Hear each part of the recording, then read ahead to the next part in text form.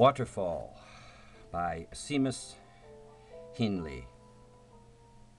The burn drowns steadily in its own downpour, the helter skelter of muslin and glass that skids to a halt, crashing up suds, simultaneous acceleration, and sudden breaking.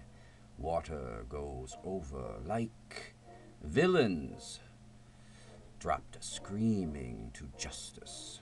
It appears an athletic glacier has reared into reverse, is swallowed up and regurgitated through this long throat.